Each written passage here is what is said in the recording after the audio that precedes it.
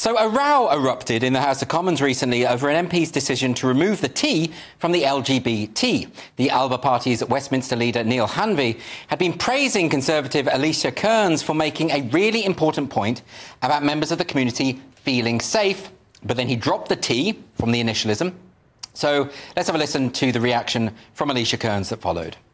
He's absolutely right, but there was one, one digit messaging from his LGB, LGBT. We do not divide the LGBT community in this place. You can say that you have concerns about what we're doing, but by removing the T, you are suggesting that transgender people do not exist. You are suggesting they are lesser than other LGB people. And I will not stand for that because it was trans people who stood with people at Stonewall. It was trans people who fought alongside for LGBT rights. So when you say LGBT, you suggest, when you remove the T, you suggest that they are lesser and I will happily discuss with you the intricacies of legislation. But when you choose to eradicate, then that is wrong. Now, unfortunately, despite multiple attempts for Alicia Kearns to appear or provide a statement, we've been unable to get her on, but the invitation is open. But anyway, to discuss this, I'm joined by the lawyer and director of the Gay Men's Network, Dennis Kavanagh. Welcome to the show. Dennis, let's start with Alicia Kearns' speech there. Uh, what did you make of it? Um, it was absurd. It was offensive. It was unwarranted. It was unparliamentary behaviour.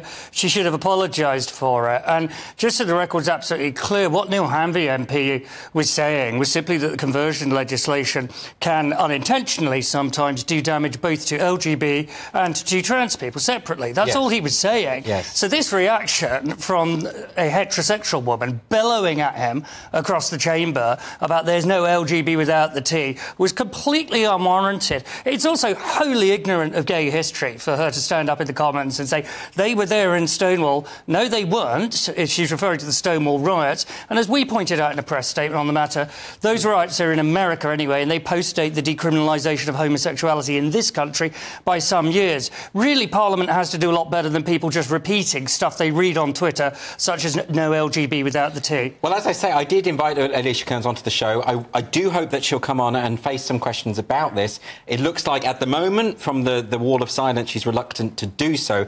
But it's really important, isn't it? Because she's a Conservative MP. The, the official Conservative policy is to be pro what they call trans, a, a ban on trans conversion therapy.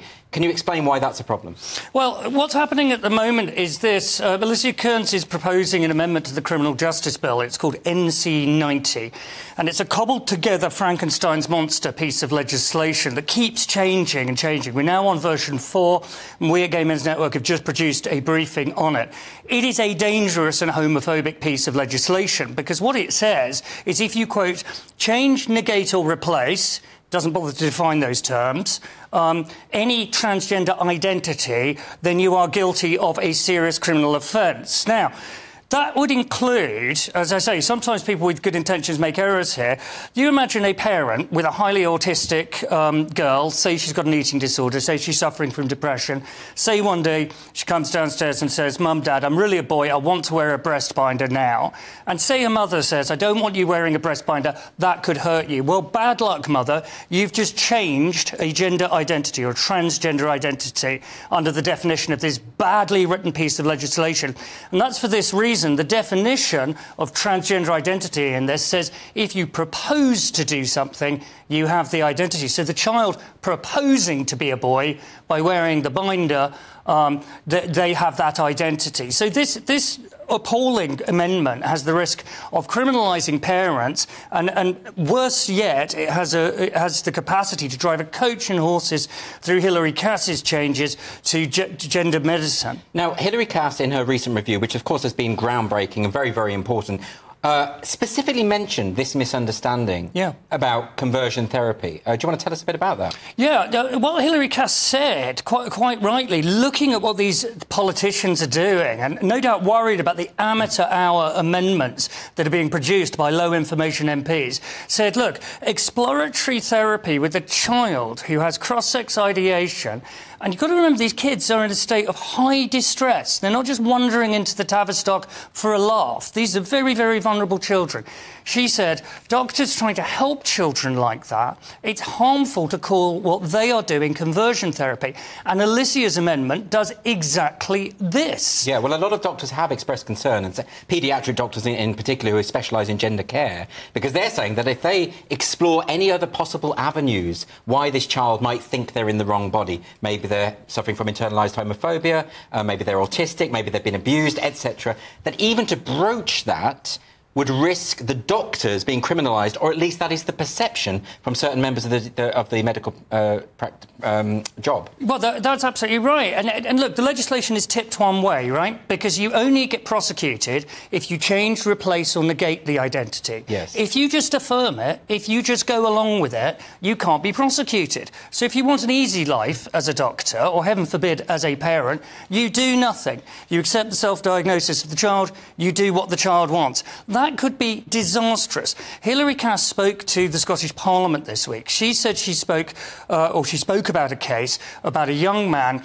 was given puberty blockers very early. He's now living cross-sex full-time as, as a woman, as a trans woman. He said to her, look, I was gay. I just realised now I, I was gay and I can't go backwards. I can't have my life back. And that is how serious this is. That is a young gay man who has had his life growing up as a gay man taken from him by idiots who are pushing an ideological approach to um, legislation and an ideological approach to medicine. And this problem would be made even worse if something like this absurd Kearns amendment passed, because the doctors would be forced to give him puberty blockers, forced to give him cross-sex hormones, and if they didn't, they would be prosecuted. So where is this coming from? I mean, the language that you mentioned there, I don't recognise from any other legislation. Is this just been invented by Kearns? Well, it, it, seems to be a total Frankenstein's monster. We had a private member's bill by Lloyd Russell Moyle, and this bears a close resemblance to it. There's then been four different haphazard, crazy changes to this amendment. The first one didn't even have a definition of transgender identity. The second one allowed for a post office style private prosecution. This final one, you're not going to believe this, explicitly for the first time says you can be prosecuted for private prayer. I'm not making that up. It, it, it specifically contemplate a private prayer.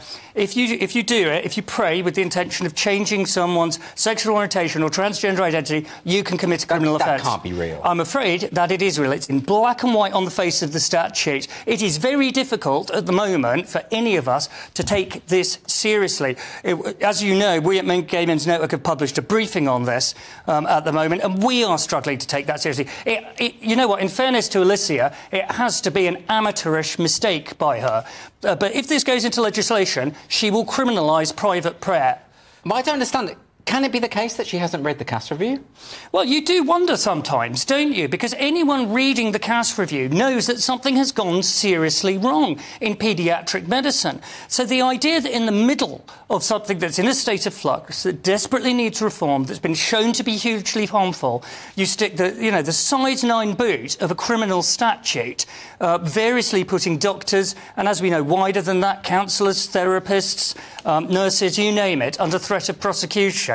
It does rather seem that if she hasn't read the Cass review, this is drafted in complete ignorance of what Hilary Cass says. And, and th this can't happen. This is the next generation of gay people, and we in the gay rights movement are not going to have them um, suffering regret. We're not going to have them treated like this. We're not going to have politicians, as we saw in that clip with Neale Hanvey, talking over and for gay men and for lesbians when we say, look, we've got reasonable concerns about you trying to regulate paediatric medicine.